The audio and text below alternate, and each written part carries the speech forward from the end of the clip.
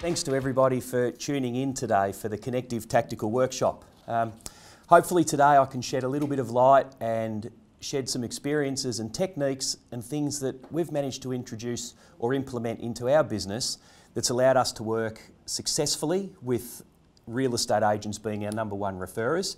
Um, so without any further ado, we'll get started.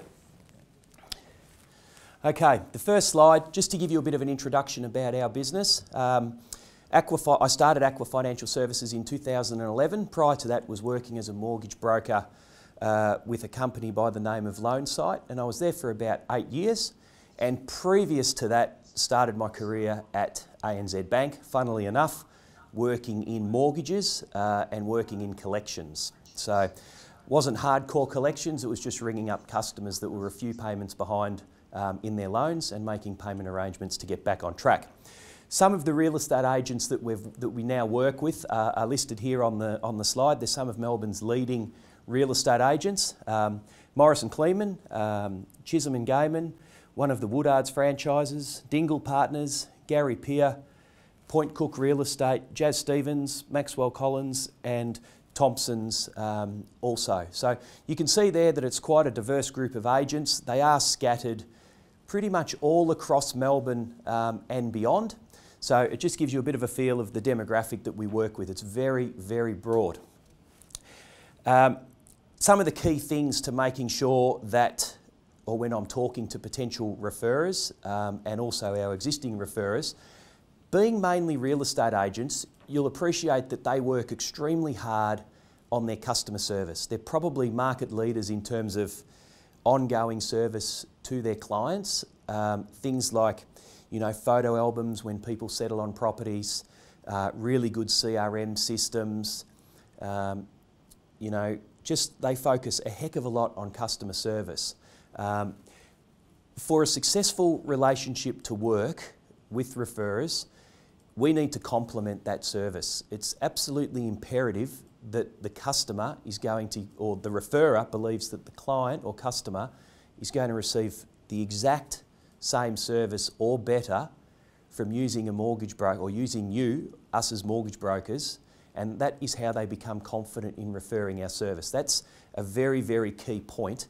And we'll talk more about the service that we provide and how we complement that service because a lot of my follow up that's been implemented in, in, in, our business that the brokers that work with me or for me, uh, we all follow exactly the same model. So I'll go into more detail on that in, uh, in that model or on that model as we work our way through today. Um, of course, our service is free. Uh, that is a big selling point. Uh, we like to make the most of it while we can. Um, there is an exception though to our rule and it is something that we've only implemented in our business recently is we were always a broker that never charged for our services. We were quite happy with the remuneration we, we received from the banks and lenders. However, just recently we've implemented a fee for service for customers that are seeking bridging finance that won't have a loan at the end. So there is a, an exception to that rule, but it is something that we relay to our referral partners that currently um, our service is free. Now, the next thing is to go through with you guys just a few examples of the type of information and the type of discussion that I have with real estate principals when we're trying to win them over to refer Aqua Financial Services. So on this slide here is just some things that prompt discussion points. The biggest point that I'd like to make about the referral um, venture or referral business, for it to work, we as brokers, we must put in the work. It's not something that comes, um, it's not something where you can turn up, put a few cards over the counter at a real estate office and then expect leads to roll in. It just, it won't work like that. Um, what I mean by um, work is that there are things that you need to be doing to make sure that the real estate agents stay engaged with your business or with you as the broker and have you top of mind when they're thinking about chatting to um, potential buyers or potential sellers, whether or not they're at open for inspections. Um, and that interaction is what will make sure that they remember you when the finance question comes up. Now, another important thing is, is I find that real estate agents don't necessarily naturally know how to raise the question about finance. Um, so we do little things to help educate them. We provide little scripts and little bits of dialogue just to help them introduce that discussion to their clients. Because the way I see it is that, like we do, if we're going to go and see a customer of an evening and you know take time away from our family, I'll often use a document that I've got in the office to qualify my clients to make sure that we can work with them. You know, by no means if they're not in a position to buy, does that mean we run a mile? No, definitely not. We we just have a different strategy in working with them in getting them into a position to buy before we sort of go out and spend hours at night in their lounge room. So just little things um, like that. And the benefit to making sure that the real estate agent is dealing with, well, the, uh, dealing with the right broker is that we can make sure that they're actually in a position to buy the house that they're interested in. The real estate agent wants to, wants to know that their buyer, so that they can push their offer through to the vendor, is qualified and make sure that they've got the finance in place, whether it be through a pre-approval, um, to make sure that they can afford the properties that they're looking at. Because the agents don't want to waste their time um, um, either and show people um, to properties that they may not be able to afford. Now, in terms of other benefits, of course, there's the benefit of additional income. We pay for our leads. You know, I don't shy away from that in any way, shape, or form. Um, I think that it's a really good incentive for the real estate agents to refer to us. Um, you know, they're salespeople, they're hungry, you know, and you know, in that type of industry, money makes does make it definitely definitely has an influence on, on the way that they think. Um, now, I'm just going to skip to the next slide just to show you the type of um, referral payment model that we implement. This just gives you a bit of an idea here. So generally speaking, the real estate agent out there that works with us will receive about 0.1% of the loan amount. So on that example there, if you're going to if they're going to, if they're kind enough to give you a referral for a loan where the customer borrows 500,000, as a, as a rule, we would pay them $500. As you, as everybody out there uh, watching and listening knows, on a loan of uh, $500,000, if you budget on receiving 0.6% uh, from the banks, which is what's probably the most common, um, you know, we'll earn $3,000 from that referral. And parting with $500, in my view, um, is, is a no-brainer. And another reason that I, that I say that is because if you, just, if, you, if you are worried about paying a little bit of money, this is just my view, paying a little bit of money for a lead, it's a very, it's very sort of um, small time thinking or, or narrow thinking because what's effectively going to happen is that if you can excel with that client, have the process run really smoothly, keep them up to date. I'll show you some of the techniques and some of the processes that we've implemented that, uh, that work for us.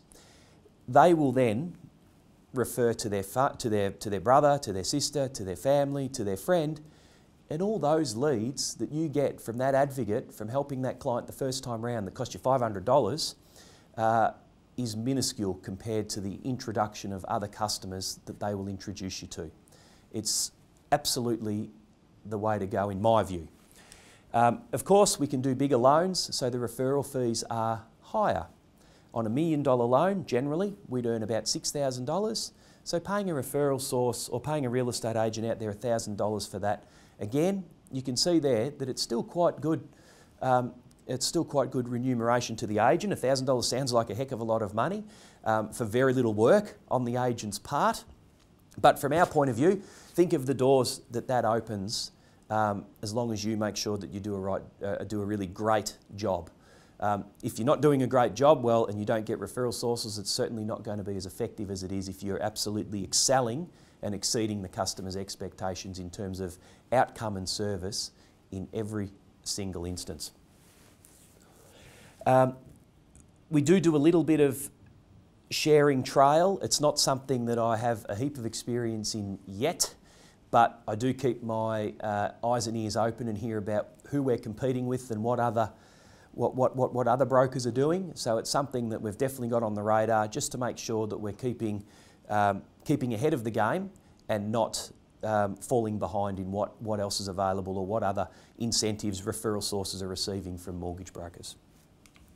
We'll just go back to that other slide. Um, in terms of the referral process, for a real estate agent, it's very, very simple. Um, we generally like to ask the agent, or we try and get them to introduce our service to their customer. Um, by doing that, it just means then that we can obtain either an email or a phone number. And we find that the strike rate of if you've got the customer's contact details and you're ringing them or you're able to call them because it's a warm lead that's been introduced from the real estate agent, the strike rate of getting in front of them to potentially um, work with them and help them with their loan requirements is far greater than if you if, the, if, if your referrers are out there are saying, um, you know, here's Daniel's details, give him a call when you're ready or give him a call when you feel like it. That to me just it just doesn't work. Whilst it does happen, and there are customers out there that prefer to work in that that fashion, um, we'll absolutely um, uh, welcome that type of lead. But if we are in, if we are able to obtain the contact number, and of course it's you know it's been agreed upon by the client that they're happy to pass on, um, you know, the agent's happy to pass on their number to us to call them. The strike rate is a thousand times better. You know, if you ring them during the day at work and they can't chat, um, you know, it's very easy for you to call them back after hours because you can control the amount of contact you have. Generally, as a rule, you know, we don't want to be seen to be um, badgering customers or being too aggressive in our approach. Um, you know, it's not uncommon to leave a message for a customer and then hear from them some time later. It might be a week, it might be a few days. Um, as a rule, we will try and give them a call perhaps three times. If we've left three messages and we've had no response, uh, we, we, we, will stop there. Um, I think that that's probably just something that's acceptable and reasonable. Generally, as well, unless it's otherwise advised by the referral source, um, we will try and ring them during business hours to begin with. Um, the logic behind that is just I know myself that I probably don't really want to receive phone calls at 7 or 7.30 at night. Um, and it's just try and treat the referral source or the potential customer just the way that you would feel comfortable being treated and when you would like to be contacted. And if you ring them during the day and they say, look, please give me a call back after 7 or 8 or something like that, that's fine. But the whole relationship then gets off to a really neat and a really um, positive start. Okay? Um, so getting the contact number from the referrer or from the agent in our case and making that contact or having control is the key. Now, how do we get that phone number? Um, sometimes the real estate agents will ring me. They'll ring me from an open for inspection on Saturday and I'll quickly have to jot down the number. So you always need to be in a position to be able to take those details down. It just is not, because your referrer is, is, is as important, in my view, as, as the customer. Because without them, you will not be able to, well, you won't meet the client. And you need to be able to take that lead however it is convenient from the referrer. So if they ring you and say, can you jot down so and so's number, it's oh no, hang on, wait, I'll call you back, I've got to find a pen. It's, yeah, no problems. And with iPhones and smartphones, everybody has um, the, the notes section um, in their phone. So it's so easy to pop in the notes. Um, I'm no, no IT guru. I don't use technology to its, to its full advantage. Um, I text myself. So I just type my mobile number in, quickly jot in the customer's name and number and send a text to myself. So that's some, one way that you can be, um, you can jot down the number without saying, look, I'll call you back or something like that. So again, it's providing a great service without making it challenging for the referrer to refer you. So that's just as important. So text message is great um, also. So we're happy to receive text messages. Agents on weekends um, and when they're showing houses that open for inspections, they're not in the office. They're, you know, they're at the home or they're in their car and you know, just receiving a text message when they're on their way out of the um, out of the open for inspection. You know, I met so and so. They seemed really keen. I had a chat to them about um, their finance, and they're open for a discussion. So a text message with that name and number is absolutely fine. Um, email also, um, of course, with email these days being on mobile phones, you can easily flick off an email just as you can a text message. So we'll take the leads any which way we can, but I know I've said it already, but I really do, I really would like to emphasise the fact that you have a far better strike rate of meeting the customer if you've got their contact, contact details rather than having, rather than you waiting for them to ring you. So that's something that I find is very, very important. Um, another advantage is deepening relation for the for the real estate agents and the referrers is deepening relationships with their clients um, by working closely with an advisor regarding their probably their biggest purchase um, of their life. Now, if the real estate agents, you know, trust you and they become friends with you, or your referrers, I should say. Sorry, I keep referring back to agents. That's just our model. Um, and the customer receives an exceptional experience, uh, an exceptional, exceptional service and experience from the broker. Well, they'll ring the agent and say, "Thank you so much for passing on uh, Daniel's details. Um, you know, he's been able to have the loan approved in a timely fashion.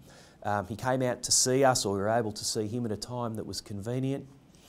Um, and just having, when, when you refer somebody and that experience is exceptional, um, you know yourself that as a customer, you go back to that person and, and you just go, thank you so much.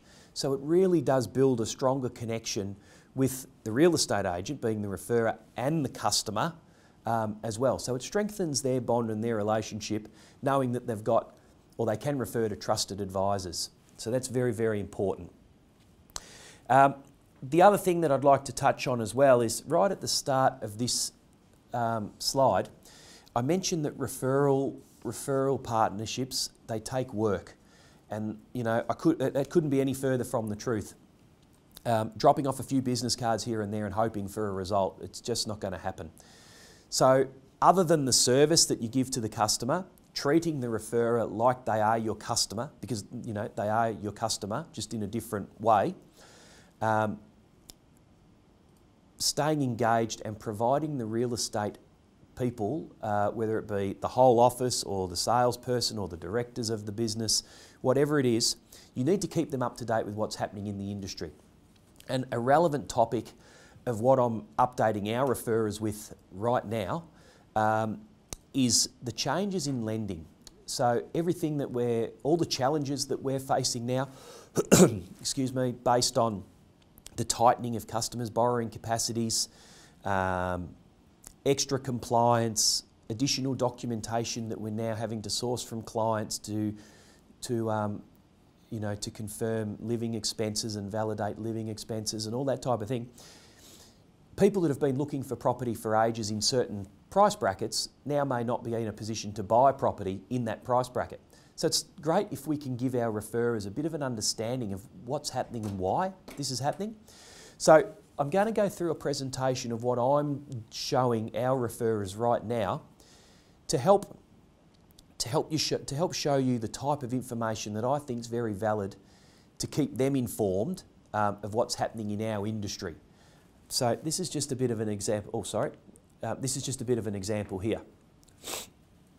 The key challenges and what we're seeing is the fluctuations in interest rates.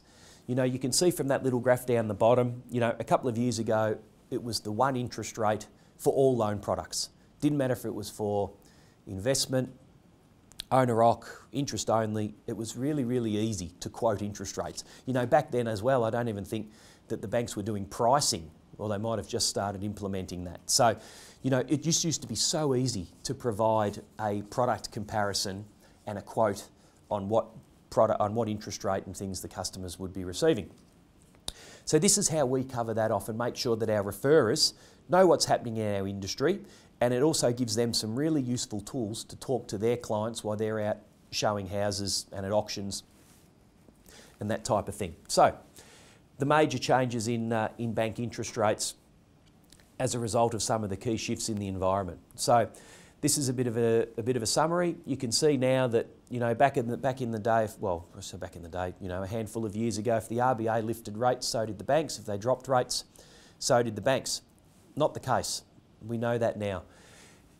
Banks are changing their interest rates um, outside of what the RBA are doing. You know, you'll often read about, you know, one bank's lifted interest rates this week, one's dropped them the next. They've lifted rates on investment interest only and discounted them on principal and interest home loans.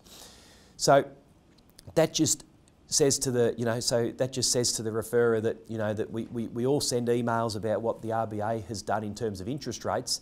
And if you look back historically now over the last, you know, 12 months or longer, the RBA in fact hasn't moved them. But interest rates have changed massively. Um, not just on, you know, not on home loans, of course, but on other types of lending. So it's just a really good way to keep your referrers up to date with what's happening in the market. Um, also, the pricing of loans as well. So, you know, people have heard in the, you know, I'll often sit with a customer and they'll go, oh, we're worried about rates going up and they're looking at, looking at applying for a home loan that's principal and interest. And I go, well, look, you know, in actual fact, and if you look at that graph, those interest rates since 2016 on principal and interest home loans have steadily reduced. People hear the news that rates have gone up, but they don't specifically understand exactly what rates have increased. So we explain this to our real estate agents out there, and they'll often say to me, just quickly, oh, what's the best rate around on the market? And I'll go, oh, look, ING's home loan P&I uh, under 80 is pretty good at 3.68%. Um, but again, if they're talking to investors, it's a totally different discussion now. So you can see the discrepancy between owner-occ P&I up to investment interest only. That's, that's over a full 1% um, difference in interest rate. And having the real estate agent understand that means that they're probably not going to quote an investor an interest rate of 3.68% and then you look crazy when you turn around and tell them that it's 4.5. So again, it's just giving your referrer the knowledge um,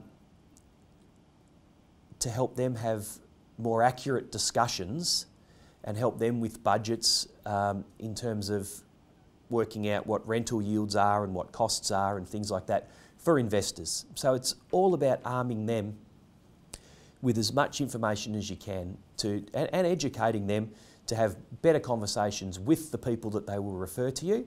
And again, that will hence that will strengthen their relationship that they have with the clients as well. So it's a win-win for everybody. So that's a bit of an example um, of how uh, uh of what we've been talking about. On the next slide is further information that we're providing our referrers in terms of what's happening.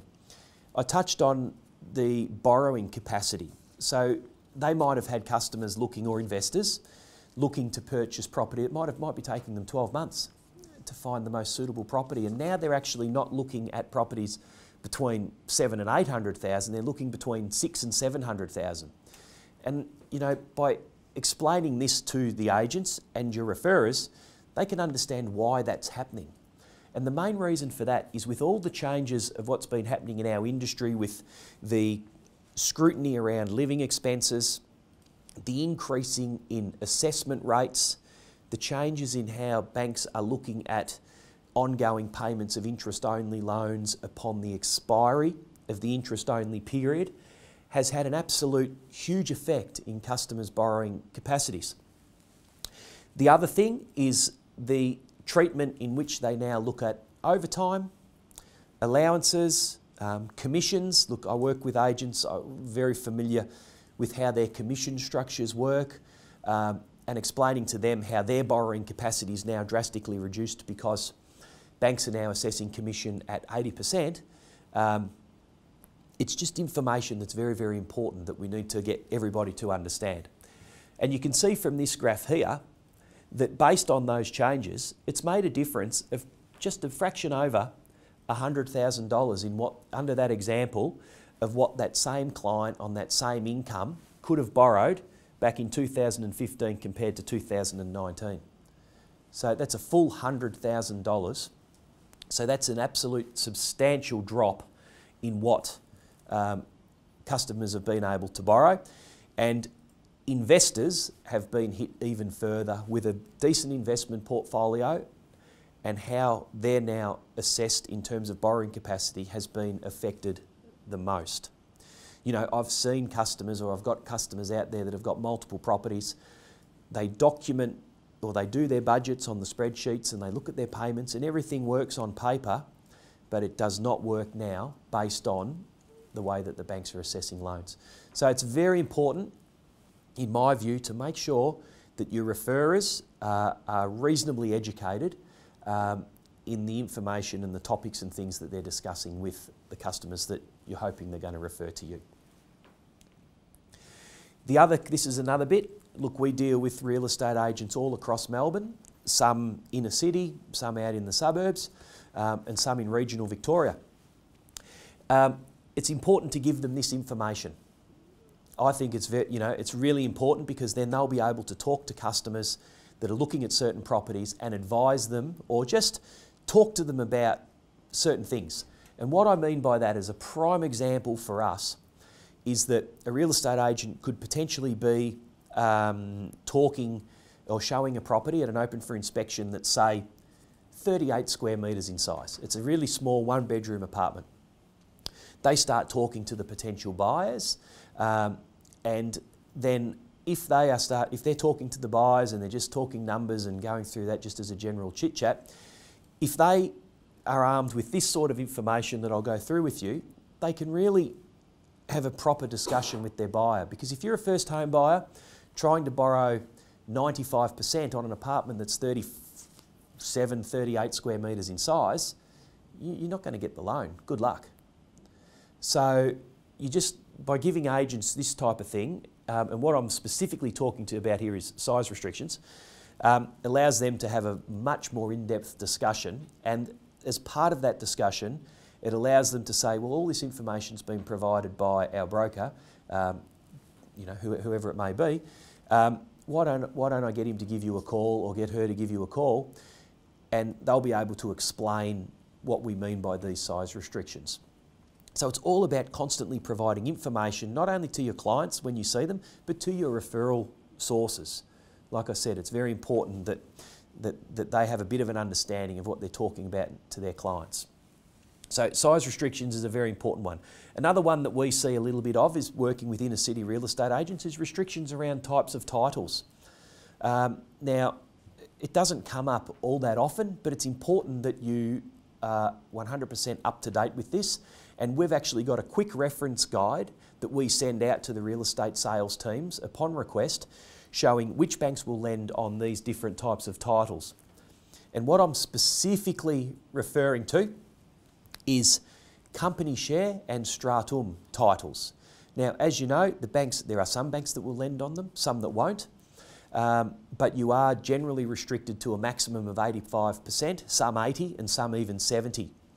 So if a real estate agent's got one of these properties on the market, they can actually already have a little bit of an understanding of what type of lending you can expect on this particular property. So if, if they've got a stratum property, uh, stratum title property, and again they've got someone interested who's looking to borrow 90 or 95%, eh, they know that there's a, there's a potential to have, to have a risk or to have, you know, to have risk with the finance not going through. Um, and also by talking about this and them having their knowledge, they can say, look, we've got a broker that really understands this type of information or this type of property, I should say, sorry. Why don't you give him a call or give her a call? So again, it's just another way of making sure that your, that your referrals out there are really, they're great advocates for your knowledge and for your experience um, and that you're not afraid to share it with them. You know, this is just great information for them um, to help build their knowledge and understanding. Um, the other thing is as well, you know, changes with guarantors. You know, we're all familiar with you know with that how it's pretty much got to be immediate family now, but all that sort of stuff. I, you're all familiar with all this sort of stuff, so I won't go too much into it. But the titles and the size restrictions are probably the most common um, that we come up against. Um, the other thing is real estate agents. Everything's got to happen fast. It's got to happen straight away. Um, you know, so we try and educate them as well in why the loan process perhaps takes a fraction longer than it used to. You know, it doesn't take a great deal longer, um, but a fraction longer than it used to. And that's just summarising to them about all the extra work that we need to do as brokers now. You know, gone are the days of just getting a couple of pay slips and sending them in with some savings history and some ID and getting the loan. It's never going to happen.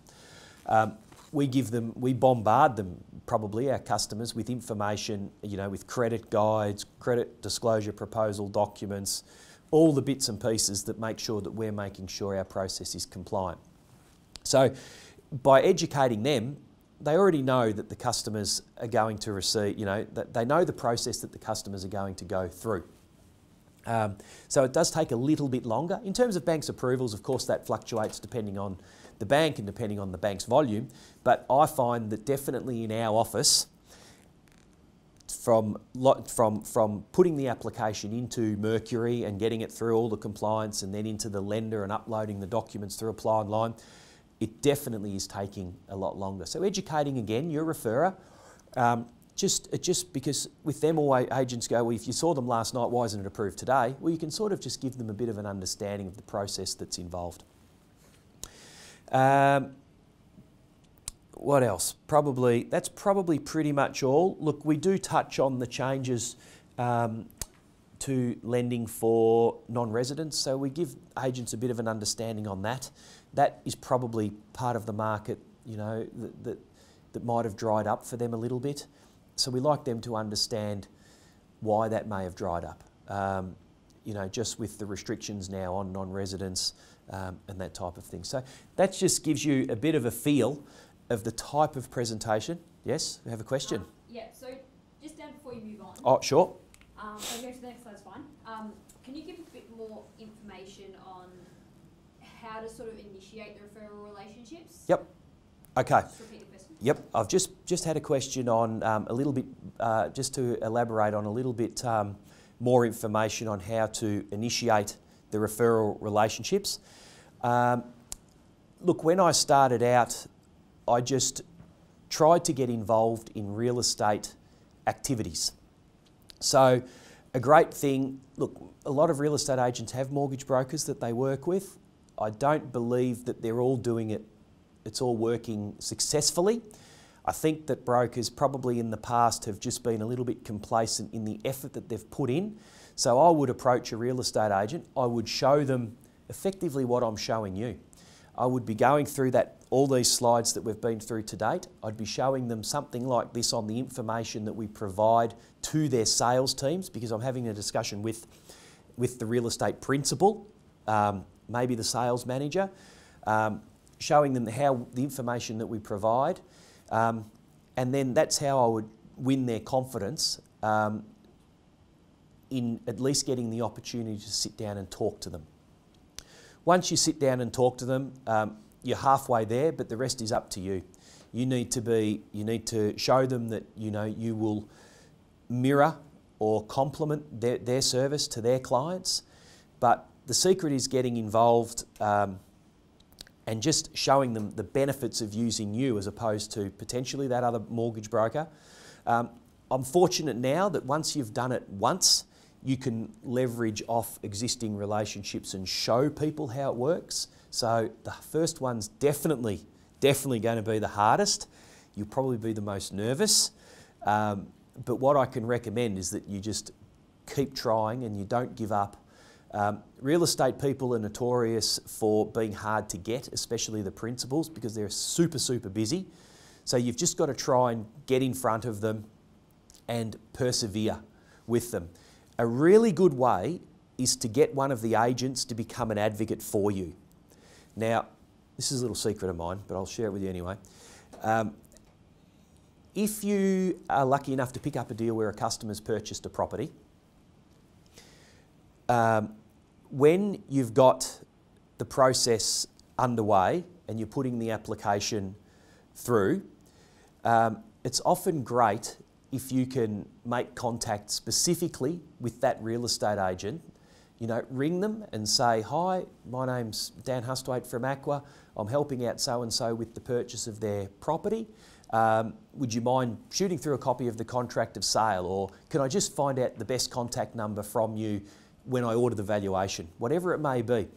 And then if you can just build a tiny little bit of a rapport with that particular agent in their sales meeting, there's a fair chance they'll talk, you go, they'll go, you know what, I dealt with this broker over uh, last week. Um, he or she was just fantastic. And then if you can follow that up and maybe have that, that particular agent as an advocate in the office, that might just give you the opportunity to get into the door and talk to the principal and start working with the whole group. So that's a really good way just to take a small step to maybe getting in the door and um, discussing the, the, the opportunities with the whole real estate company. That covered that question, do you think? Yep, beautiful. Okay, all right, now what are the benefits to us? It's all good and well to, to sell, you know, to, to provide this, uh, this impeccable service and, and, and, and pay commission or pay referral fees and all this thing. But what are the benefits to us as the broker? Now, the way I see it is, like I touched on briefly, is paying the referral fee. Yep, it's a pain and it's a, it's a, it's a, it hits you in the pocket, but it's a very narrow look if you look at how your network of clients can expand. Um, back when I started, this is just a tiny bit of an example, all my leads came from real estate agents. Um, now, I actually don't take any leads at all from real estate referrers. They all are farmed out to my team um, because my client base just self generates. Um, so that's the goal or the target that we all should be aiming for um, over the course of our careers. Now, so that's the biggest benefit in my view is the expansion of your client base. So on there, of course, you'll earn more money because you're doing more transactions, but the key bit is the significantly expanding your client base. So what I mean by that is making sure that when you receive that referrer, you nail your service. You nail it. Even if you don't know anybody, even if you've sorry, even if you've got nothing to say to your customer or no update to provide them, our model is that we will ring our client or co make contact with our client every 48 hours. So that could just be as simple as saying, Hi, so and so, just giving you a quick call to let you know that we haven't had an update yet or heard from the bank, um, but we expect to hear tomorrow or we expect to hear then. So you've told them nothing, but you've called them, um, and that's the type of thing that makes them go, you know what, the service was great. They don't feel like they're waiting for answers and that's, they're more likely then to refer, ex, therefore expanding your database and expanding your, your, your, your client base. Um, that flowed on to the next point, and this is something that I really am passionate about is this service thing that I keep mentioning and having it, having your customers out there become advocates for you. Um, just to, to, touch on that a little bit, something that we implemented that I've found, and some of, my, some of you may have heard this before from myself, but Something that we implemented that we've had huge success with is that when we make our anniversary calls to our clients, and that is simply, um, uh, you know, hi, hi, so and so, congratulations. Oh, just, what the spiel is, hi, so and so, we're just giving you a quick call as it's been 12 months since you settled on your property. Hope everything's going well. So that's the type of anniversary call we make. But what we've implemented as part of our process is we thought about how do we make sure that our customers are talking about us to their friends on Sunday at their barbecues. So prior to making that phone call, and look, it's not quite as beneficial as it used to be, is that we would do what's put in, put in a pricing request for that customer with their existing bank. So what we'd be able to do is when we made that call, if we were able to get their discount on their professional pack from 1.2 to 1.3%, we could say, look, we've also spoken to your existing lender and we've got you an interest rate reduction. That type of thing is something that they will talk about to their friends and expand, which will expand your business and your uh, customer base. Because who, who, does that? You know, the bank's not going to ring the customer and say, hey, guess what? You're on a 0.7 discount, we're now offering 1%. Um, they're never going to do that, ever. So if, if you do that for a customer and you've done that recently and they happen to be at a barbecue, you'll pick up refinances left, right, and centre. The best thing about refinances and referral from your customers, no referral fees. So that's just, a, that's just something that we implemented that we had a great deal of success with. Okay, pricing is not quite as uh, uh, um, not quite the same as it was, but any customers that have got loans that are what probably two or three or four years old or, or, or older, um, if you were to do pricing for them and ring them up on their anniversary, or just not even to just do it now, just go through your old settlements, I bet you you'd get them talking to, uh, to their friends about you. Um, and what does it take you to do? It takes you five seconds to flick an email off to, to the bank's pricing teams. Um, the other thing that's, uh, that's important too is that it gives us the opportunity to engage uh, with our customers in the early part of the house hunting process. Now, what I mean by that is you need, when you're working with real estate agents or referrers, well, re, let's use real estate agents, you need to make sure that they've got your information or they've got you top of mind when they're talking to people that are starting to go through open for inspections. I'll go on to vendors shortly. The key to this is making sure that your service is being introduced to them at that point in time.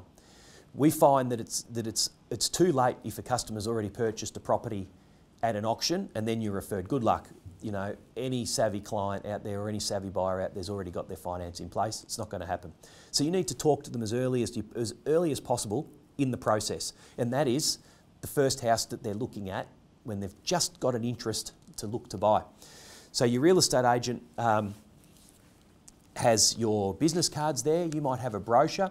We've got business cards and we've got this, um, I didn't bring one, but we've got a brochure that's, it's a DL size brochure that folds out, that shows you our panel of lenders, gives you a bit of a snippet of, of, of what we do. Um, and we have that on the table at the open for inspections. We don't put it there, we have the real estate agents put it there. So we're not attending these open for inspections, um, but we have our referral partners having that there with their other um, with the other people that they might recommend. It might be conveyancers that they work with, but putting it out with the Section 32s and all their um, brochures and flyers so that it's ready, available.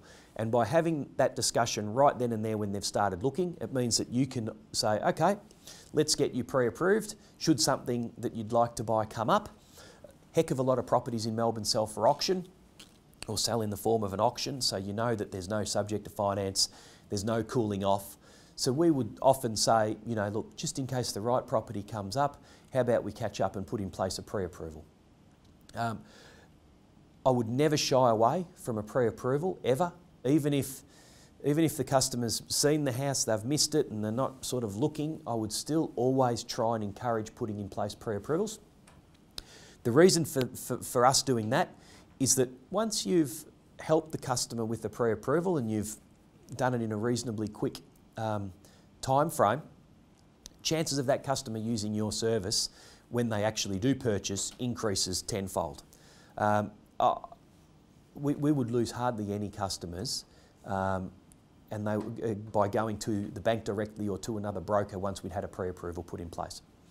So that's a really good way to sell your service and have the customer committed to you in one way, shape or form very, very early on um, in the piece.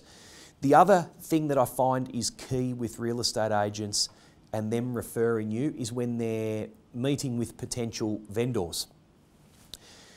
At that point in time, the vendors generally, when you call in the real estate agent for an appraisal to get a feel for what your house is worth, they actually haven't even thought finance. Yes, they know what the loan amount is, but they haven't even they haven't even had any discussions with their bank because they don't know what the home's worth.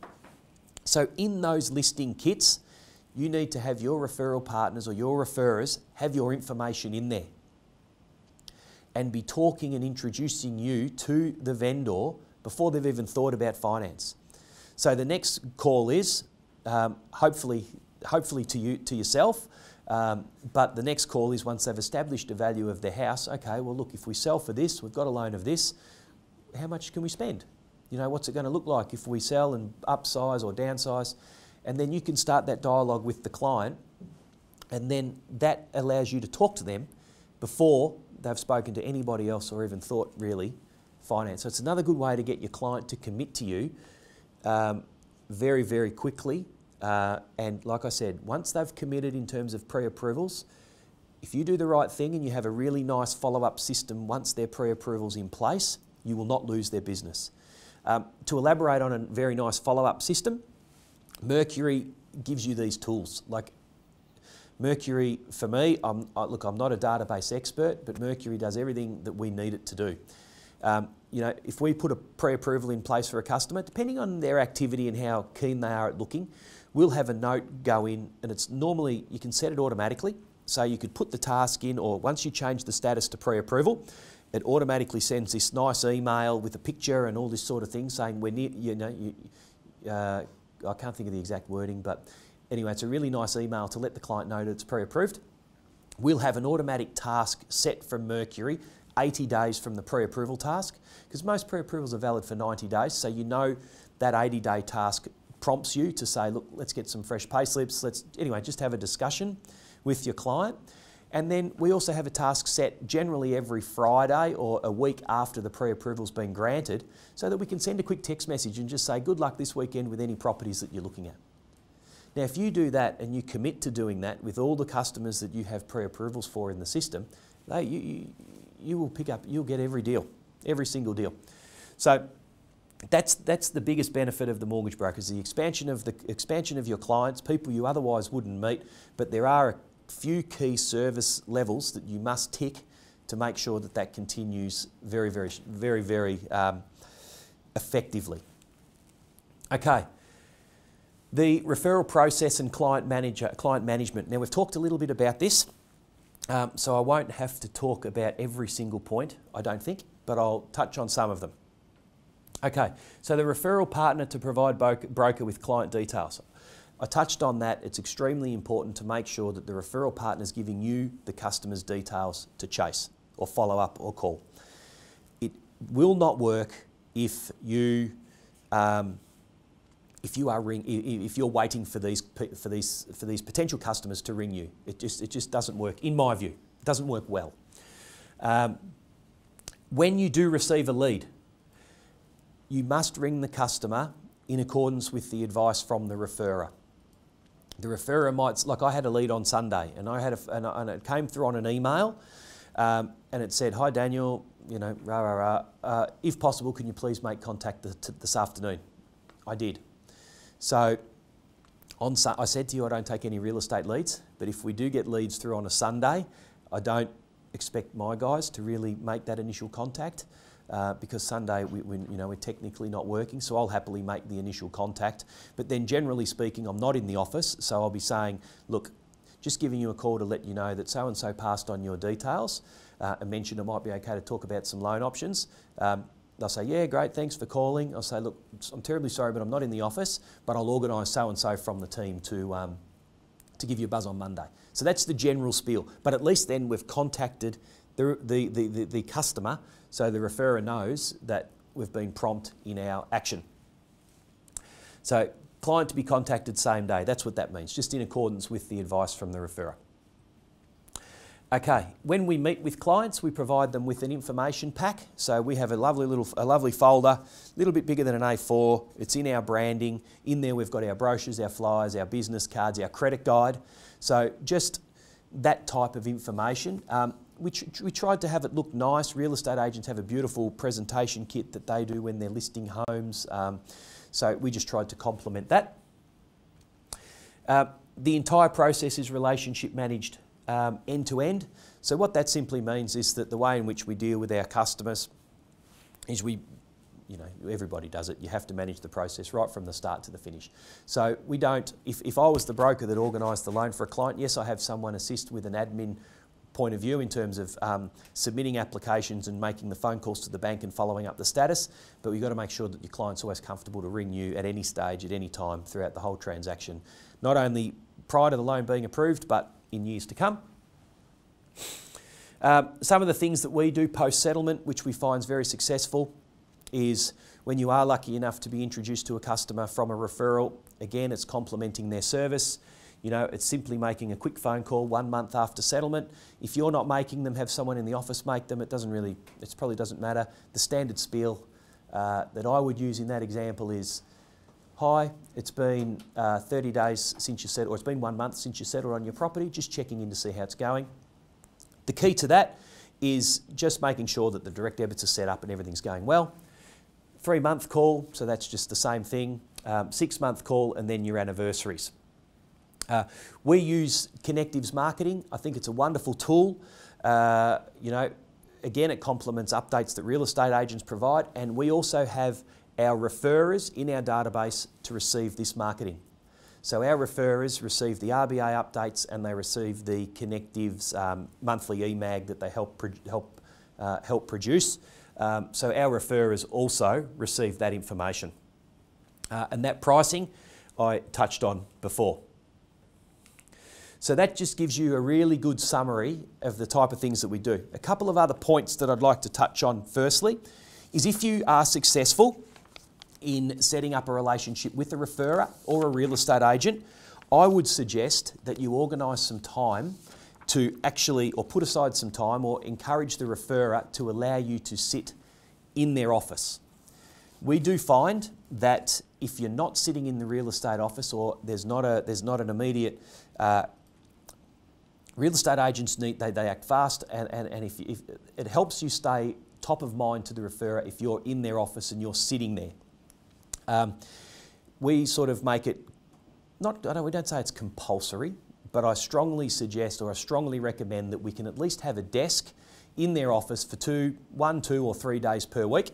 Um, it's not full time, and of course, the, the space is permitting, but our strike rate in terms of the volume of leads increases massively um, if we've got presence in their office.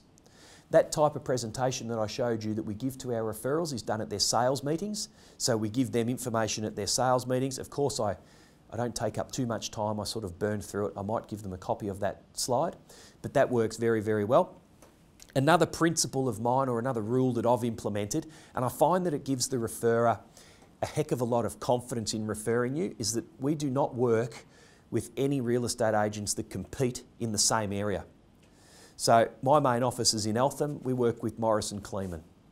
If a Barry Plant or someone else came to us and said, look, you know, we can see what you're doing here. It seems to be working. You know, some of the agents might have, agents move around from office to office a little bit, so you might get an introduction there.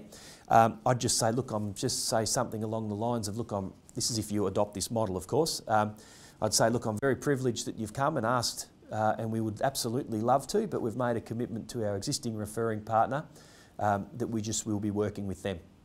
The reason that that's so effective, in my view, is if a customer comes back to you and often asks you to crunch the numbers before they speak to their real estate agent, we'll often absolutely, well, not often, we will mention that why don't you speak to, um, why don't you speak to so and so from uh, Morrison Kleeman or you know Gary Peer or one of those real estate agents that referred us to get to, to get a bit of an indication on what their home might be worth. They might like to hang on to the property, so you'd say, oh, why don't you ring so and so who refer, you know, who put us in, in uh, put us in touch with one another, um, and get a rental appraisal done if you want to keep the property. So the agents then are very, very comfortable in knowing that if the customer comes back to you, you're not you're also not taking leads and having a, really close relationship with people that might want to do business a few times in that same area. So that's a big success. Yes, we have a question. Um, do you, in your experience, do you feel it's worth focusing on outer suburbs, rural areas, or just metro? Or oh. All right, in my experience, um, oh, sorry. The question was, uh, in my experience, do, we, uh, do I feel that it's better to focus on referral sources in metropolitan Melbourne or outer suburbs or even in rural areas? Um, I wouldn't shy away from Look, demographically, it's a challenge. You know, our, we, don't, we, we go and see a lot of our customers, so you know, you can, you can only do certain number, certain amount of Ks. So if you're working on, for example, my model is that um, each broker, I try and place brokers demographically to the referrer because if you've got to spend so much time in the car, well, it's just, it's just, it's just, not, a, it's just not an efficient way to spend your time. To answer the question directly, like I'll talk to any referrer anywhere. Um, but to get the model right, it might take some time to find somebody that's suitable in that demographic or someone that lives close to that demographic. We work, as the, the agents that we work with, um, Chisholm and Gamon have an office in Mount Martha, um, and we also work with someone in Point Cook and Morrison Kleeman out in Eltham. It's impossible, it'd be impossible for me to give that referrer's customers the just service and being able to see them in a timely fashion. So I'd absolutely um, encourage you to talk to all referrers um, in all areas. Uh, look, if you were starting out now, I would see a great opportunity in some of those bigger areas like Morrison Kleeman, I've, I've, used them a few times, but they have an office in Doreen, and Doreen's sort of northeastern area. It's a bit like a Pakenham and a, and, a, and a Melton, and there's a lot of new housing subdivisions, and there's certainly, I would say, a lot of opportunity to be able to um, pick up a lot of business from getting referrals from there.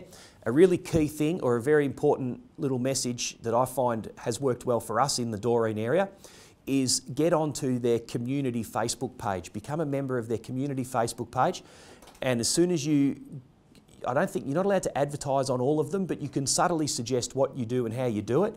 And on those community Facebook pages, you'll often see them post something, oh, can so and so recommend a good broker? So that's a good little tool.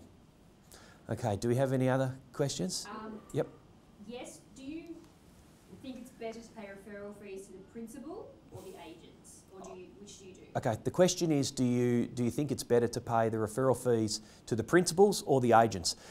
I think it's better to pay it to the agents, but if we start doing any trail, that'll go to the principals. So that'll be a reason for the principals to keep encouraging their agents to use our service. But I think it's important that the agent out on the ground gets the referral fee. That model that I showed you there, if there's a loan for a million dollars and we pay $1,000, I'd also be happy to see the agent receive 800 of it and the principal receive 200 of it.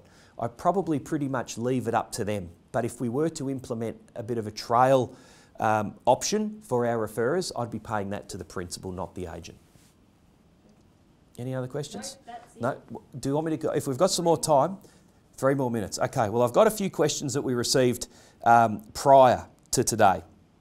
So I'll just read the first one. Um, a system for staying in touch after the initial contact has been made to ensure there is a back end to the process. So, what I read from that is how do you, firstly, how do you administer the payments of the commissions to the real estate agents? Um, now, Mercury gives you these tools. It's very, very easy for you to set up a referrer in Mercury. I think you do it under the payee tab, I think. Anyway, um, talk to Connective about doing that the way that you need to. You can, it's very simple. You can set them up and then you can allocate the amount of commission that you would like that particular customer. Um, sorry, just let me get this right. You can allocate the amount of commission for that particular customer to be paid to the real estate agent. So there, Mercury absolutely gives you that opportunity. In terms of knowing where you're getting your referrals from, um, you can also you can put in there lead source um, that's very, very simple um, as well, um, so that you can identify who's referring you the most and who you should be focusing on. Um, how do brokers, uh, next question, how do brokers overcome the conflict um, of interest issue in a situation where the referred client is ineligible for a loan? Um, good question, but it's pretty easy to answer. I would just simply be honest. you know, if you if the customer's ineligible for a loan and the loan's declined, you know, whilst you don't directly go and tell the real estate agent, you know, the loan's declined, but if, if, you, if you explain it to the customer, they'll let the agent know for you anyway. Um, so just don't say that the customer's been declined. One of, the, one of the things that frustrates me though is how do you explain to a customer that your loan's been knocked back purely on uh, bank's credit scoring? They go, what, what does that even mean? You know, and when I think about it, I think, well, I don't really know how to explain that either. But you can certainly say, you know, affordability may, may not be there. So just try and explain to your clients why there was a decline and just tell them the truth.